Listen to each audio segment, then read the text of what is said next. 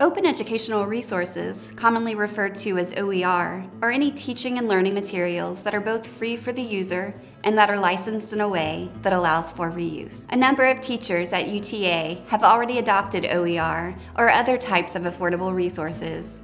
This video series highlights their stories.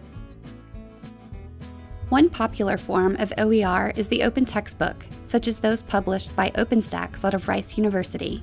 OpenStax currently offers over 30 complete textbooks, along with supporting materials such as slides and test banks that are well suited for lower level courses. In their digital format, these texts are completely free of all cost and access barriers. Optional print copies can be purchased at a low price by students who prefer this format. I've used the OpenStax in my American history classes recently and come to really think highly of it. History 1311 is the U.S. History Survey to 1865, so the end of the Civil War. And 1312 picks up with Reconstruction and goes through mostly to today. So I'm using it in both halves in three different sections. They are required by the state that students have six hours in U.S. history to get any degree. So we get everybody.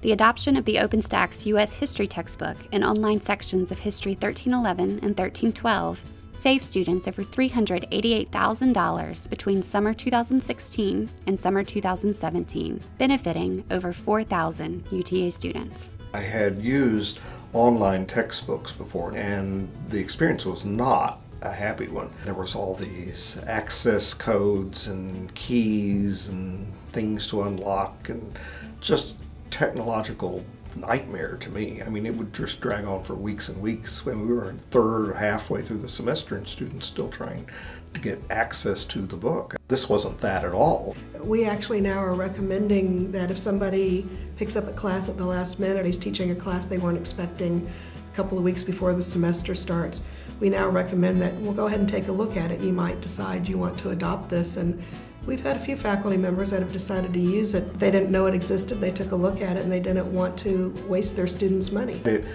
isn't just affordable, but it's affordable and it's just as good a book. I think that a lot of students, because they can't afford a textbook, just try to muddle through without one or go to Wikipedia or something like that. And, and I think that we have more students actually looking at the materials that we're assigning than we would do if we're making them buy something that's 80 to $100 and they can't afford it or they can't get it until three or four weeks into the semester, they can have this on day one. Give them a link and it worked and that's it.